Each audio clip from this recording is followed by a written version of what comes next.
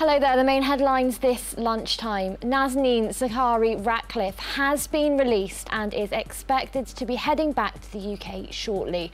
Her MP Tulip Siddiq tweeted that Nazanin was at the airport in Tehran. Nazanin was detained in Iran nearly six years ago when visiting family with her daughter. Nearly two-thirds of Londoners say looming hikes in council tax are not justified. That's according to a new YouGov survey. The poll found 64% of adults in the capital do not believe the council tax rises in April can be justified, with just 20% saying that they are. The majority of the city's boroughs are planning to raise their share of bills by the maximum 2.99% permitted by the government.